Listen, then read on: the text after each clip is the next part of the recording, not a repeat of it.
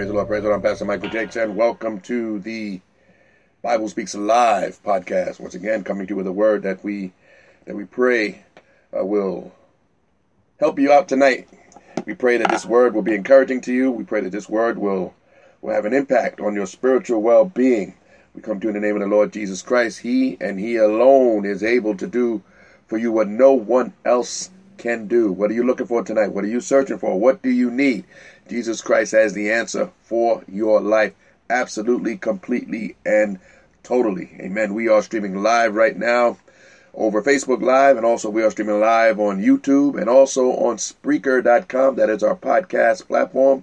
Spreaker is spelled S P R E A K E R. And we welcome all of those who are listening in on Spreaker, who do listen in live, and uh, who do download uh, this podcast. We want to thank you for listening in from around the world and across the United States. We thank you for your support. Amen.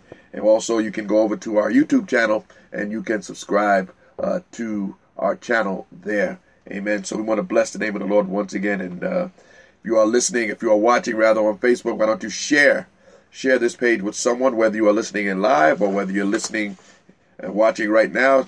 Just share this page with someone. I'm sure that you know someone else who needs to be blessed tonight. You know someone else who needs a word from the Lord in these difficult times. We pray that this word will will touch you right where uh, you need, because the Lord, the Lord is the one who knows the needs. And the Bible says that His word, His word never, His word never returns void, but it will, it will always accomplish the purpose where it was sent out for. So once again, we thank, we thank and praise His name. We're going to pray. We're going to get started on tonight. Lord, we bless your name. We thank you once again. You have allowed us to be in your presence.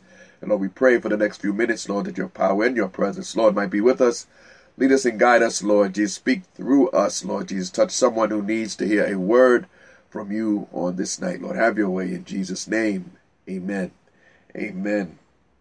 There's much going on in this world. Uh, there's much happening. There's much taking place. Uh, there's so much. There's so many things going on in this world that it is. It is very possible it is quite possible for the Christian, for the Christian, it is quite possible that the Christian will uh, will lose face and, and become distracted by the things uh, that are going on. It's very easy to get pulled away. It's very easy for our attention to get pulled away. Is that there's a reason why? There's a reason why the Lord calls His people sheep. He doesn't call us sheep because we are stupid, uh, because sheep have that reputation of of being uh, that type of animal that really uh, is pretty defenseless. But he calls us sheep. He calls us sheep because sheep they they bear under and they follow who they hear. But the Bible does say that we hear his voice and it's after him we should follow. The enemy is walking around like a roaring lion seeking whom he may devour. And he's looking for someone that he can manipulate. He's looking for someone who he can distract. And we must put ourselves, we must be that child of God who does not allow the enemy to come in and to take our minds away from the truth. I want to bring you to the book of First Peter. First Peter chapter 2. And we'll be reading one verse. We'll move around a little bit, but we're going to start right here in First Peter uh, chapter number 2 and starting in verse number 11. First Peter chapter 2 and verse number 11. It says, Dearly beloved, I beseech you as strangers and pilgrims, abstain from fleshly lusts which war against the soul. Abstain from fleshly lusts which war against the soul. I want to talk to you tonight just for a few minutes about the battle for your righteous soul. The battle for your righteous soul. If you are a child of God, you can you can, because of the Holy Spirit in you and because of discernment, you can sense, you can sense evil. There is a there is a heightened sense uh, for the spiritual for the child of God. You know, many times you know when you are in the presence of evil. Many times you know when you are in the presence of something that is not right. It is it is not uh, it is not intuition. You're a child of God. You have the Holy Spirit in you, and He speaks and he lets you know when things are not right. He lets you know when everything around you is not right. That's what that's one of the things that the Holy Spirit does. He gives us that ability to discern. That is His Spirit speaking in us, letting us know that all things are not as they should be. And so we need to pay attention. Pay attention to that sometimes still small voice that speaks to us and tells us that everything is not all right. And you, by seeing this world and seeing the things that are happening in this world right now, you are well aware. You are well aware that everything is not as it should be. The Bible says here in this verse that we are strangers and we are pilgrims. We are we are just here. We are we are actually as Christians we are traveling through.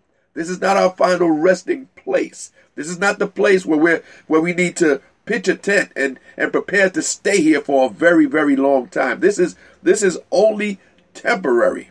Our real home is in heaven. That's the place where we were where we are headed, and we need to always be mindful of that. So, as strangers and pilgrims, he tells us in this verse that we need to keep ourselves away from, abstain, keep yourselves away from the fleshly desires, those things that pull at you, those things that those things that would have you to be apart. Listen, the world, the world, the Bible says that the world knows its own.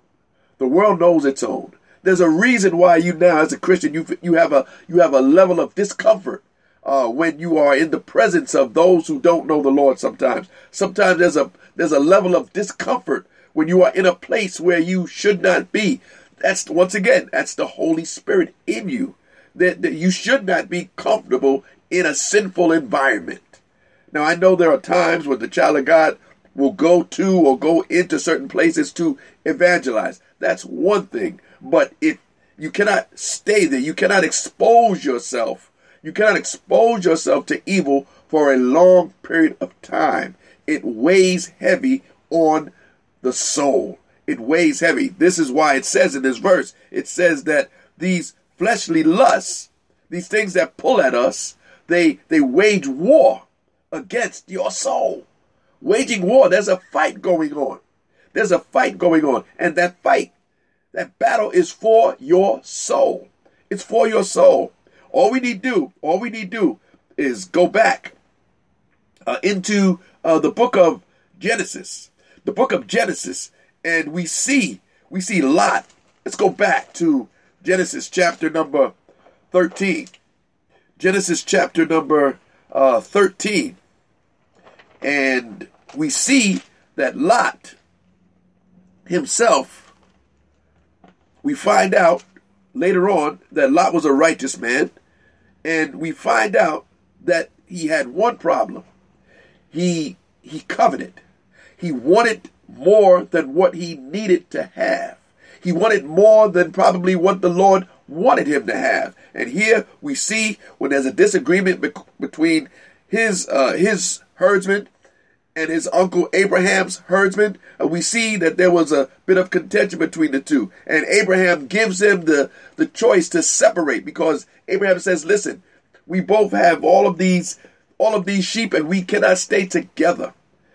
You go the direction that you want to go, and I'll go in the direction, whatever direction you go, I'll go in the other direction. And the Bible says here in uh, verse number 10, Verse number 10, the Bible says that Lot lifted up his eyes and beheld all the plain of Jordan, that it was well watered everywhere before the Lord destroyed Sodom and Gomorrah, even as the garden of the Lord, like the land of Egypt, as thou comest unto Zoar. Verse 11, then Lot chose him all the plain of Jordan, and Lot journeyed east, and they separated themselves from one, the one from the other. So Lot made his choice.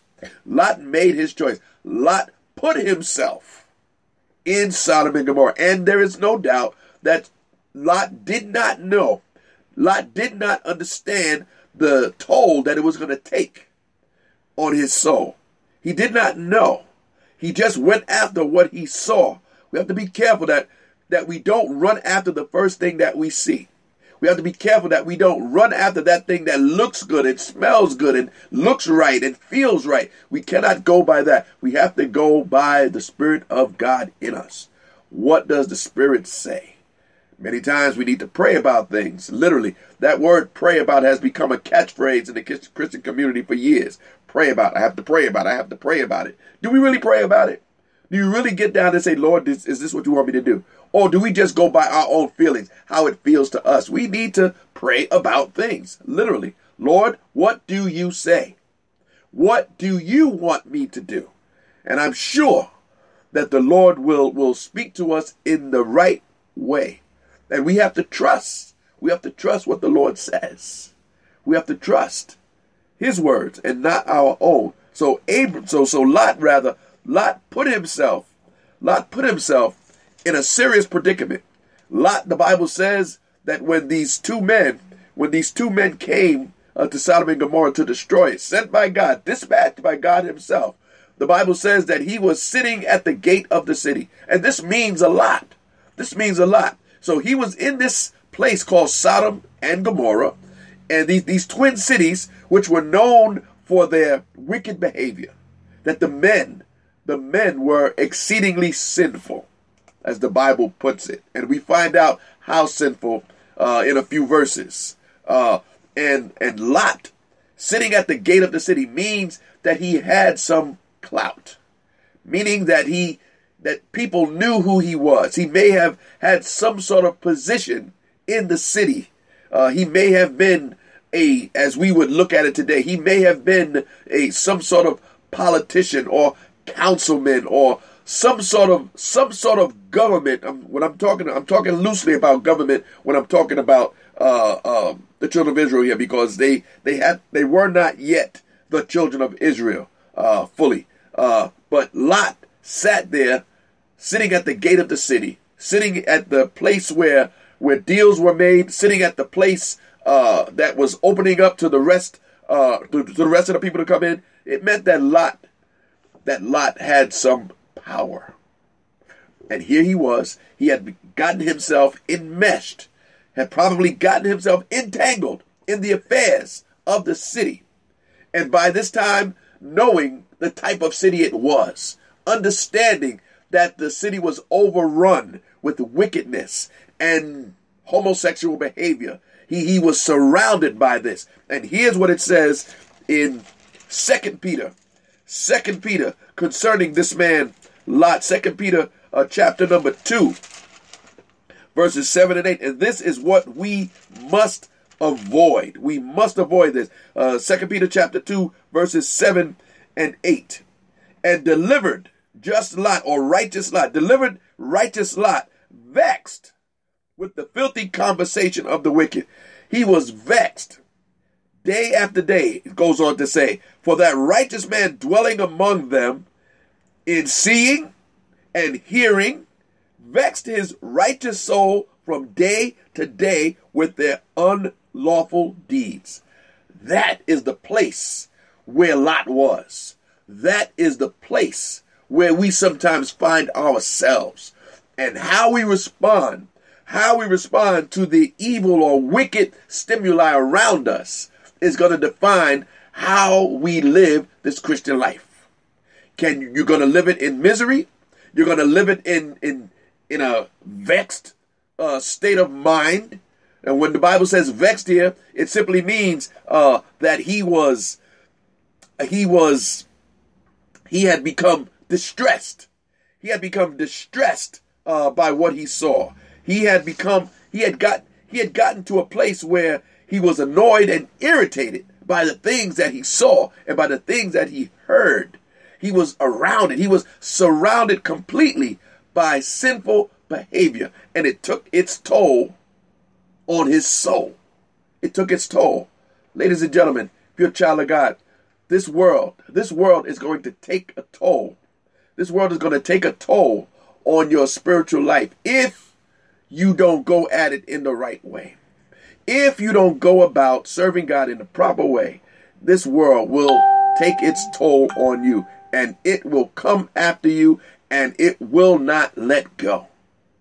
It will not let go. We must make sure, we must make doubly sure that we are serving God, that we are keeping our eyes on Christ and his cross, keeping his eyes on what Jesus did for us if we are going to walk in this life in a proper position.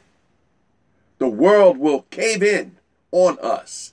And we have to make sure that we keep ourselves from the things of the world. This is a fine line talking about keeping yourselves away from the world. There's so many things that are in the world, so many things that we do that are part of the world, so many things that we must be a part of in a sense, but yet the Bible tells us not to get enmeshed. Abstain. We cannot, here's what the Bible says the Bible says, do not love the world, nor the things of the world.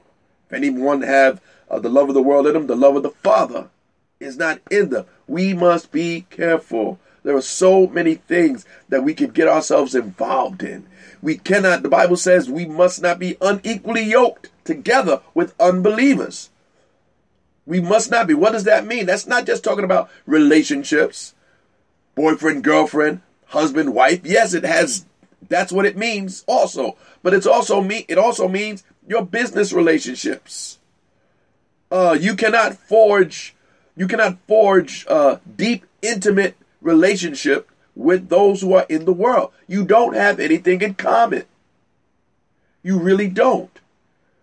And the world is is attracting us and the world is is pulling at us and we want to go and do this and we want to go and do that and the world says let's everybody do this and it's and it's easy to get caught up in all of the in all of the rah rah that the world is is is throwing out. We don't want to be left out. We want to make sure that we're in the know. We want to make sure that we that we also know what's going on in the world. Someone asks us a question, we want to be able to tell them, "Oh yeah, I heard about that. Oh yeah, I know about that. Oh yeah, I saw that. I watched that." We want to be able to say that we are a part, that we are not different from everybody else. But here's the thing: you are different from everybody else if you are a child of God. It's not a problem if you don't know about the latest movie. It's not a problem if you don't know about the, the latest song that dropped. It's not a problem if you don't know these things. These things do not define who you are. You are a child of God. You have been called to a higher purpose. There's a higher purpose for your life. You don't need to, to be a part of what the world gives out. Let me read. Let me read. We mentioned, I touched on it just a moment ago, but let me read uh, once again the words of Jesus in John. The words of Jesus in John chapter 15.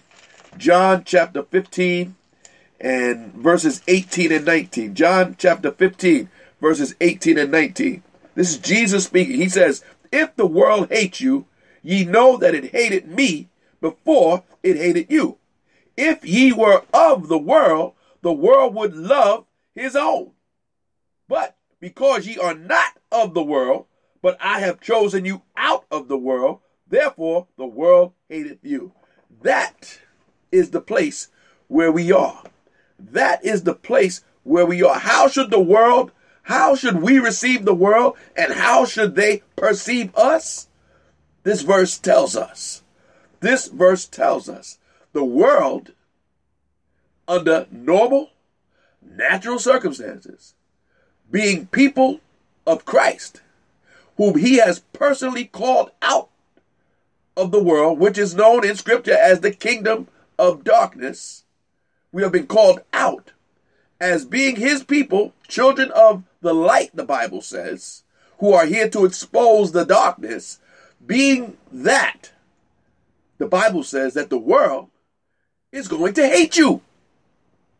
Not put their arms around you, not embrace you, not say what a good person you are, such a nice person.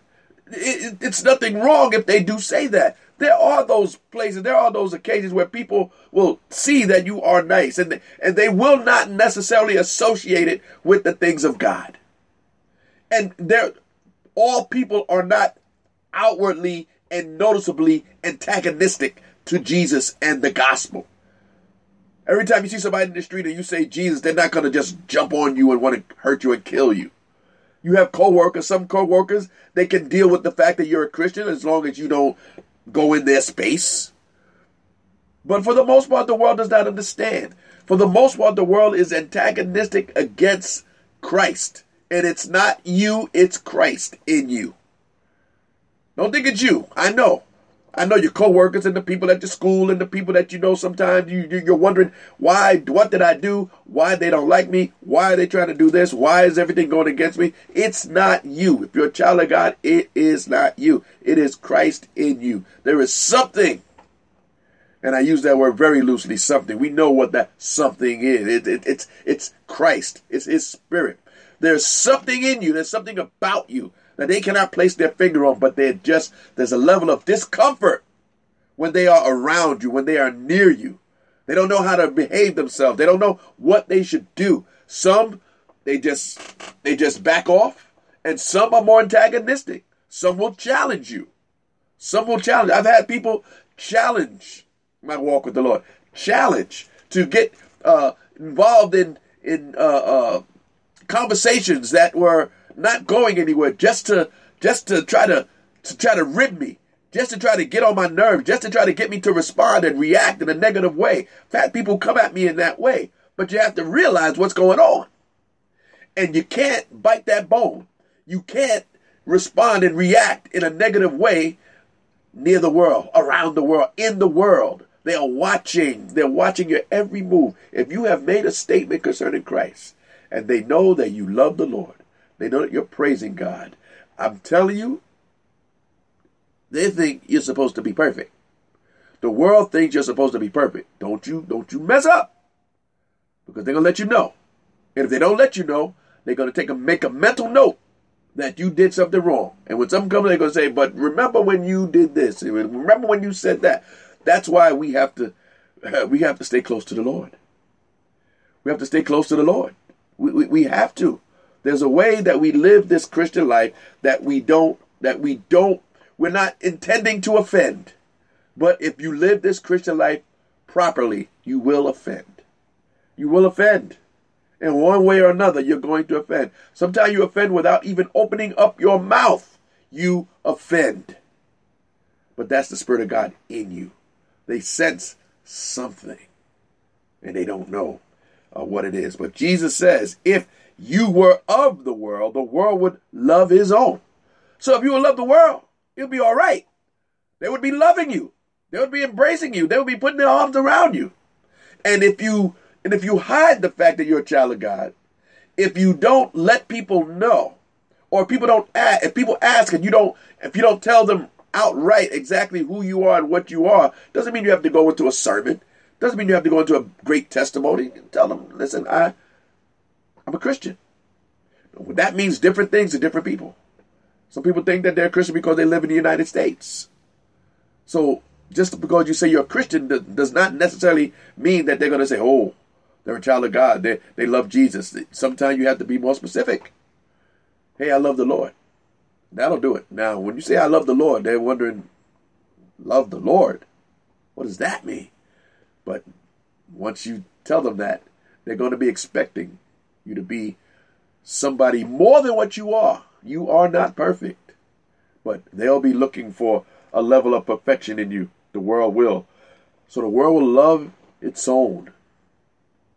But because you are not of the world, that's why, because the, he, Jesus has chosen you out of the world, that's why the world will hate you. Hate you. But fear not, because they hated Jesus first. It's all about Jesus. Remember, it's not about you. It's not about you. It's all about Jesus. And so this is the world. This is why the Bible says in the book of James that we should not love the world. Rather, it says in First John that we should not love the world. Do not love the world or the things in the world. The world hates us. Why do we seek to be? Why do we seek to be uh, uh, embraced by the world? Why do we want the world to give us a, a, a thumbs up? You don't want a thumbs up from the world. You don't. You don't want a thumbs up from the world. That means that they have gotten the wrong message. That means that they have gotten the wrong signal.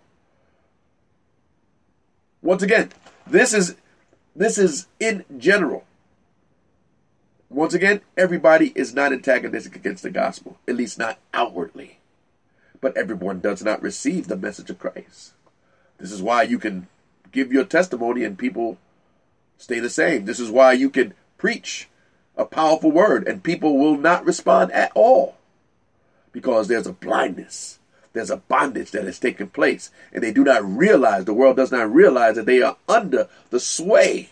As the Bible says, they are under the sway, under the control of the evil one. They don't realize it. Not that they're possessed, but they don't realize that the enemy has shielded and blinded their, their hearts from being able to see the truth. The Bible says that the enemy has blinded the minds of those uh, who do not believe, so that they do not, so that they are not able to see the light of the glorious gospel. And that's what the enemy. That's what the Bible says. The enemy, the enemy knows of the glorious gospel. The enemy knows that the gospel is glorious. Not that it moves him, not that it's going to make any change in what he does, but he's seen what the what the gospel does to people. He's seen what it does. He sees that it changes. He said he sees that it transforms. He sees that it changes them from someone that whom whom they whom he was able to manipulate into someone now that belongs to Christ. He has seen what the power of God does. He has seen it, and having seen it, he doesn't want anybody to be a part of what Christ does. And so he tries he tries to distort and disannul you from away away from that which he knows will change your life. So the world loves its own, but we are to abstain from those fleshly lusts that war against our soul. You see, if we don't if we don't abstain from fleshly lusts, if we rush in, if we become a part of the world system, we run the risk, we run the risk of being desensitized. Desensitized. And when we're talking about being desensitized, it's simply it's simply becoming less sensitive, less sensitive to the evil that is around us, to the cruelty, uh, to the to the violence, uh, to the suffering, to sin in general. It's becoming less sensitive to it. Listen, because you have the Holy Spirit in you, that means that you are sensitive to sin. You are sensitive to sin. You are aware. You know when sin is in the camp. You know when there is sin in your own life. You see, this whole thing of being a part of what the world does, it not only can cause you to be desensitized to, to the world, it not only will cause you to be desensitized to the world, to the sin in the world, but it will also cause you to be desensitized to the sin that is within you. That's why that's why we have to step away from the things of the world. As difficult as it is, we have to step away because it's going to have an impact on our soul. You don't want your soul to be numbed out. You don't want your soul to be deadened. You don't want your soul to be anesthetized. You don't want that. You want to have a heightened sense of your own spiritual condition. You want to have a heightened sense of the condition of the world. And the world is in a terrible predicament. The world is in a sinful place right now. And you want to have your, your, your spiritual senses intact. You want to be able to know when something is not right. You want to be able to know when all things are not well in your own spirit. You know when something's not right. You know when you're doing something that's not right. You you you know yourself. And you want to always keep that heightened sense uh, you, you want your spirit to be on alert, so to speak. Never, never do you never do you want to be in a place where you don't recognize sin for what it is. Never get that you never want to get to a place where you're in a place where you shouldn't be and you think that it's all right and you feel that it's all right. I know there are functions that we attend. We go to weddings, we go to different things, we go to celebrations. Listen, these are things that there's nothing inherently wrong with, with being a part of these things. But once again, you, you cannot find a level of comfort there. You must not find a level of comfort because here's what the Bible says. The Bible says it's a shame to think of those things that are done by them in the dark. You know, something happens. Uh, you know, I remember when I was younger, when I was younger, because I, it didn't happen when I was older. Uh, but when I was younger, I can remember. I can remember uh, my mother taking me into uh, a bar with her with her brother or my uncle.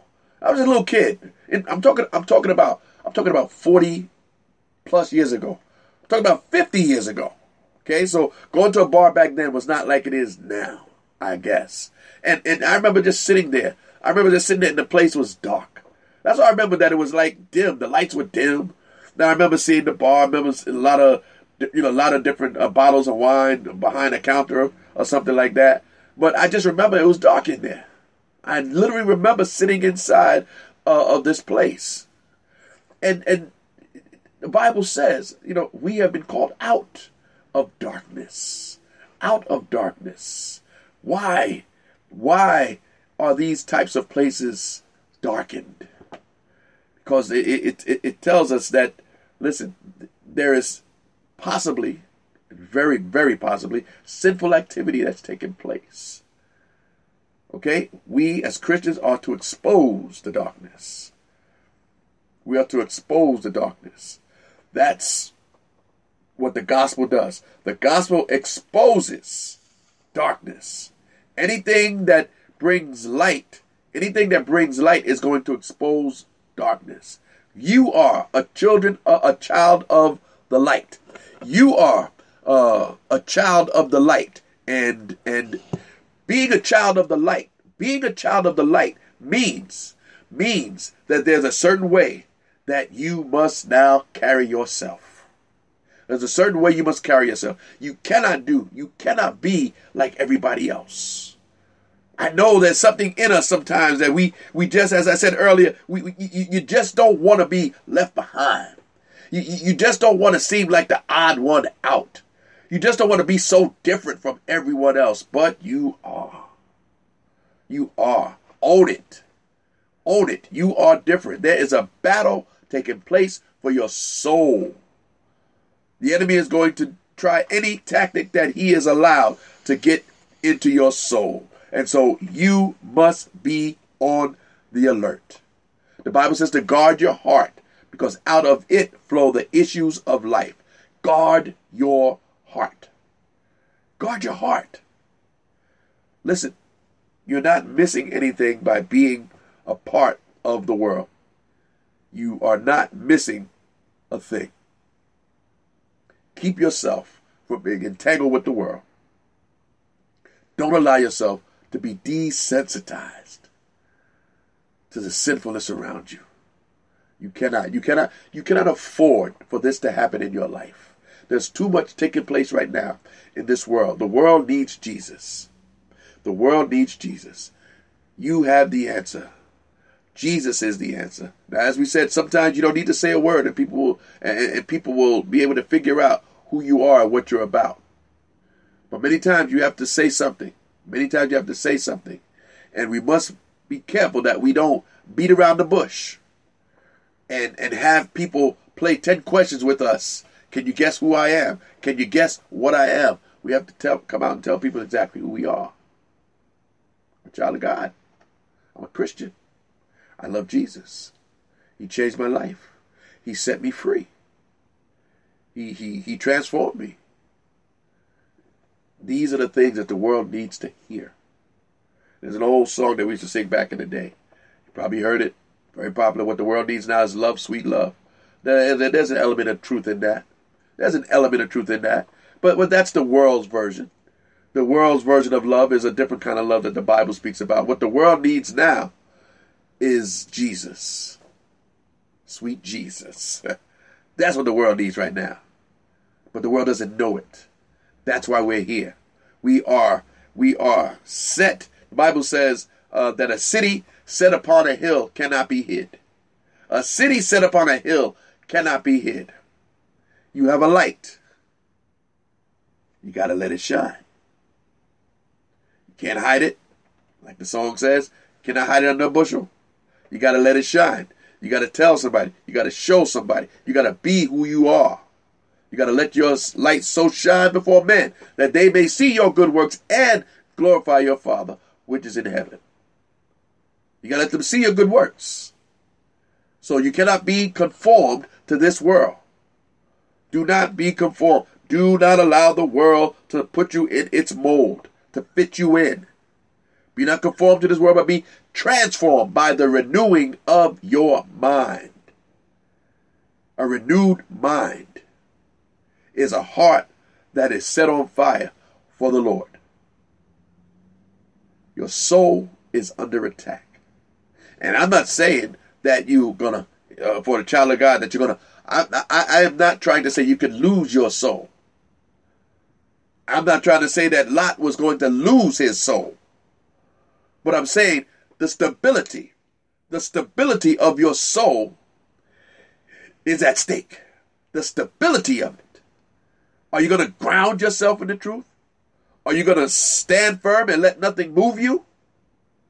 Or are you going to be on shaky ground? Because you're allowing the fleshly lusts that are warring against your soul to come in on you.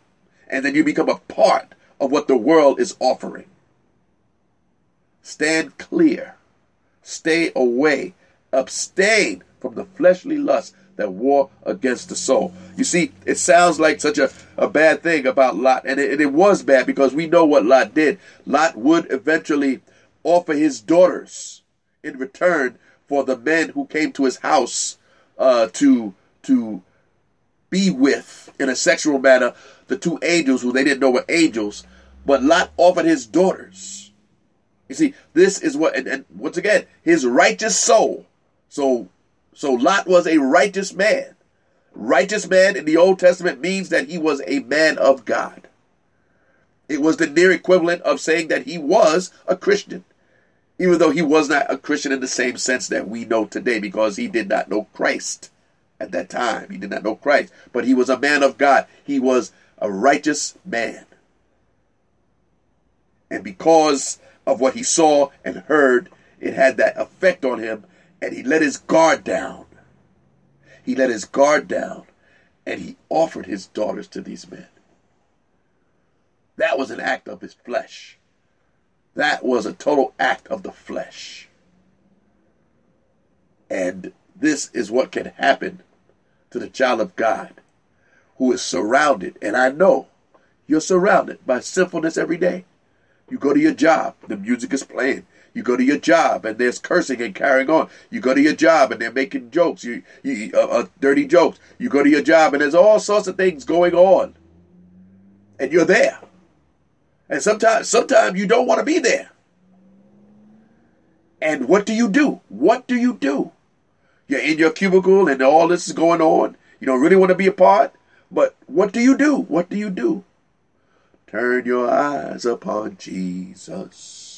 Look full in his wonderful face, and the things of earth will grow strangely dim in the light of his glory and grace. You got to turn your eyes on Jesus. You got to see Jesus. You really got to see Jesus. I had to do it. I had to do it. You have to see Jesus. Doesn't mean you're going to be perfect. Doesn't mean you're going to get it right all the time, but you got to see Jesus. You got to literally see Jesus. Turn your eyes on him. Focus on his power. Focus on his strength. Focus on what he has done for you. You see, here's what it says. You see, it says concerning Lot, let me go back in the and as we close here, let me go back into the book of Second uh, Peter and start in chapter number four. It says, "For if God spared not the angels that sinned, but cast them down to hell and delivered them into the chains of darkness to be reserved unto judgment." Verse number five, and if he spared not the old world, but saved Noah, the eighth person, a preacher of righteousness, bringing in the flood upon the world of the ungodly, and turning the cities of Sodom and Gomorrah into ashes, uh, condemned with them with the overthrow, making them an example unto them that are that should after live ungodly. And then it talks about if if God delivered Lot, if God delivered, you see, you see, that's the word. That's the word that we didn't talk about. It says, and delivered righteous Lot. See, we just were focusing on the fact that he was a righteous man and that he was and that he was affected by the things he saw and heard. That's what we're focusing on. But here's the end result of all of that. It says that God delivered him. God was able to deliver him out of that situation. God was able to deliver him out of that predicament in that place where he was in his life, in his soul, God was able to deliver him. It says, and delivered righteous Lot who was vexed with the filthy conversation of the wicked. And it says once again, that righteous man dwelling among them, he dwelt among them. In seeing and hearing, he vexed his righteous soul from day to day. That lets us know that it was something that Lot did himself, as we said. He, he, the Bible says that he vexed his righteous soul. Based on what he had done. He put himself in that situation. But there is deliverance. There is a deliverance that is in God. There is a deliverance that is in Him.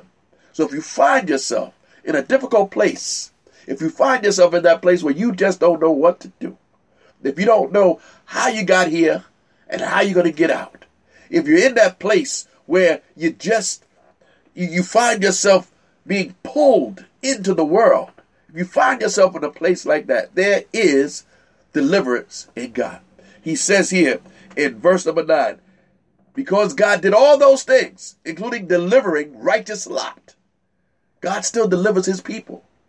God delivers his people. God is in the business of bringing freedom to his people.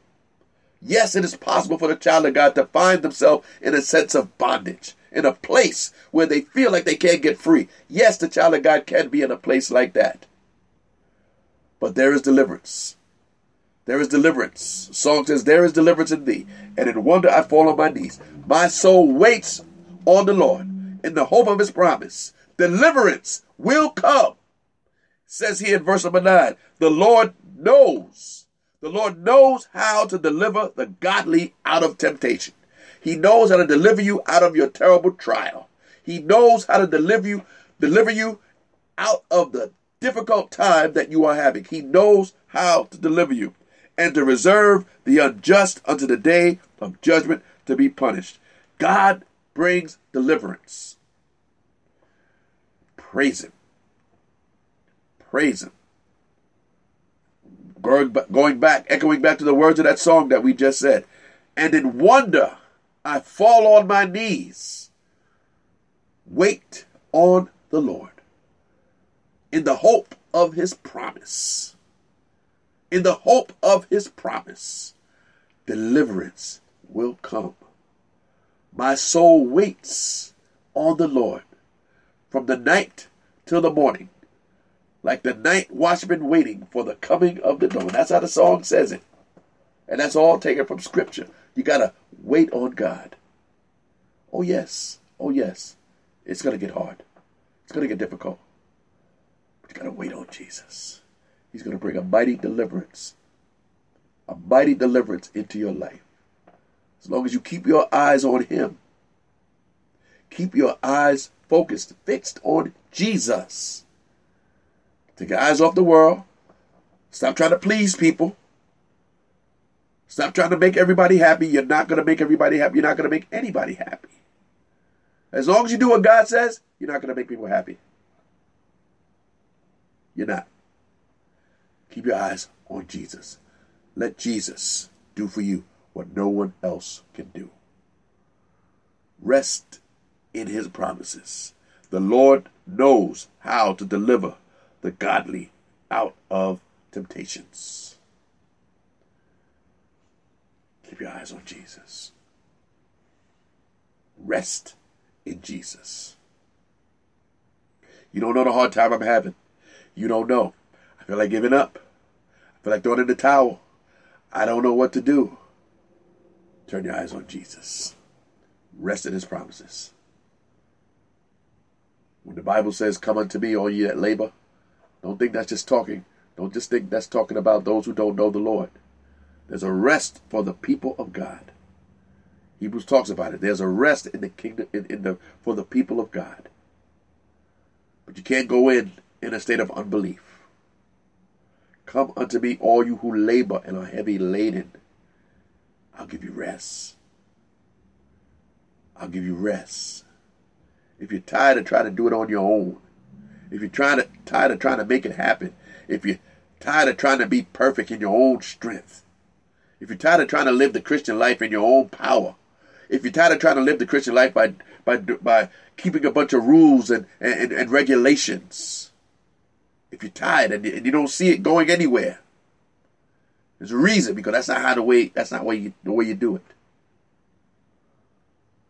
We don't live this Christian life by all the things that we do. I gotta do this, I gotta do it, I gotta do it, I gotta do that. We live this Christian life by what we believe. By what we believe. Where's your faith? That's what it's all about. Where is your faith? Let me read Galatians chapter 2 and verse 20, and then we'll call it a night. Galatians chapter number 2. And this text says it all.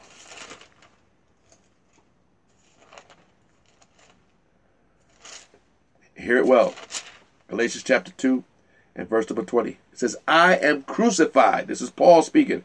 I am crucified with Christ. Nevertheless, I live. He says, I live.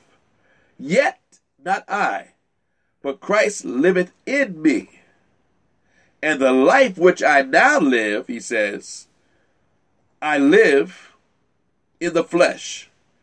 Rather, and the life which I now live in the flesh, that means the life that conducting, doing his everyday business that he lives, he says, I live it by the faith of the Son of God, or in the Son of God, who loved me and gave himself for me. It is no longer you who are living, it is Christ living in you and through you. He says, He says, this life that I now live in the flesh, in the body, He says, I live by the faith in Jesus Christ. How do you live this Christian life? How do you get through this Christian life? By faith in Jesus Christ. Some people think you live this Christian life by reading 10 chapters a day. That'll keep the devil away. By fasting for 30, 40, 50, 60 days. That'll keep the devil away. They think that's what the Christian life is about. Going to church every Sunday or going to church every night. They think that's how you live the Christian life. Nothing wrong with going to church every night if you can, if you're able. Something wrong with reading 10 chapters a day if you have the time. Nothing wrong with fasting for a period of time in your life. But if you think it's those things that are going to empower you, it's, it's, it's not. That's religion. He says, This life that I now live in the flesh of this body, I live by the faith, by having faith in the Son of God. Faith in Christ. Your faith is only as good as the object that it's placed in. So you don't put your faith in how many days you fast or fasted. You don't put your faith in how many days a week you come to church. You don't put your faith in Sunday staying in church all day praying. You don't put your faith in how much you pray. You don't put your faith in how much you read your Bible. How do you know if it's enough? How do you know if 40 days is enough? How do you know if 50 days is enough? You don't put your faith in the doing of things. That's not how you live the Christian life. You put your live the Christian life by faith in Jesus Christ, who loved you and gave himself for you. There's a lot of things that happen there at the cross. There's a lot of things that happen at the cross. And you are now a recipient. Your deliverance. You've been set free. Be not entangled again with the yoke of bondage. Don't go back to the law. Don't back don't go back to the thing that held you. Don't go back there. Don't go back there. You've been set free in Christ Jesus. Amen. Don't go back. Don't go back. Denounce the world. Don't be desensitized by the world. Keep your eyes on Jesus. He is your deliverer. Lord, we bless your name. We thank you, Lord. Once again, you have allowed us, Lord, to speak this word, Lord. Father, we pray that these words have gone out into gone out into cyberspace, Lord, to touch someone, Lord Jesus. Lord, we know that your word will not return void, but it will accomplish the purpose wherewith it was sent. Lord, we know someone will hear these words, and someone will someone will pick up these words, and someone will run with these words, and someone will someone will be strengthened and empowered by this word. Someone uh, someone will be admonished by these words. Lord, we pray that your word will do whatever it is that you want it to do. Lord, we know that nothing, nothing that's done in your name is in vain. So, Lord, have your way. Speak through this word, even now, in Jesus' name. Amen. Amen. Hallelujah. We want to thank. We want to. We want to thank those who have watched and listened uh, tonight. Uh, once again, those on Facebook, share this page with someone. Uh, go to our YouTube channel and subscribe to our YouTube channel.